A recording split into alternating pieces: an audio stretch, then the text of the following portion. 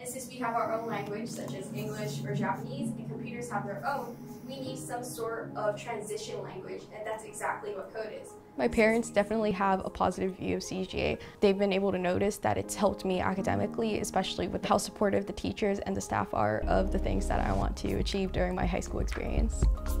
I would say my proudest achievements at CGA so far would be the October-November exam session.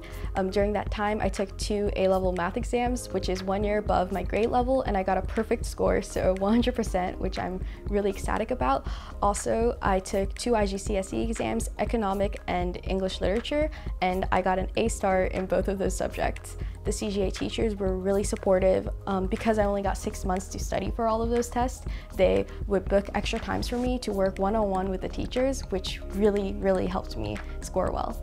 I've noticed that despite doing five A-level classes, which is two more than, I guess, the typical student, I have a lot more free time than I did before when I was joining a physical school. There are some days where I only have three hours of classes, which really allows me to focus on some of the extracurricular projects that I'm working on.